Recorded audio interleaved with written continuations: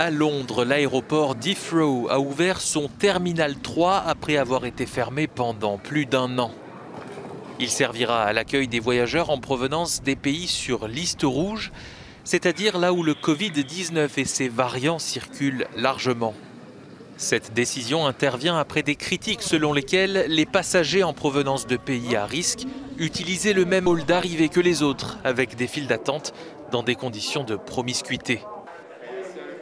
Par ailleurs, le Royaume-Uni a enregistré sa première journée sans décès dû au Covid-19 depuis le 30 juillet 2020.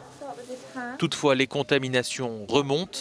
Plus de 3000 ont été détectées en 24 heures, obligeant les autorités à mettre sur pause le déconfinement, notamment en Écosse. Pour espérer vaincre le Covid-19, l'OMS recommande une distribution équitable des vaccins dans le monde. À cet égard, l'organisation a homologué le sérum chinois Sinovac, lui permettant d'intégrer le dispositif COVAX qui met à disposition des doses dans les pays défavorisés. L'OMS, le Fonds monétaire international et la Banque mondiale ont annoncé allouer 50 milliards d'euros pour faciliter l'acheminement des vaccins dans ces pays.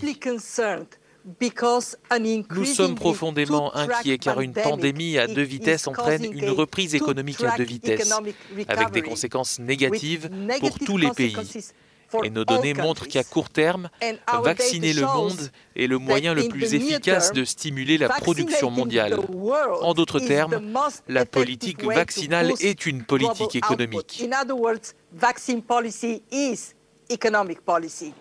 En Pologne, alors que le nombre d'infections quotidiennes continue de baisser avec moins de 600 cas au cours des dernières 24 heures, le gouvernement a annoncé proposer la vaccination aux adolescents âgés de 12 à 15 ans.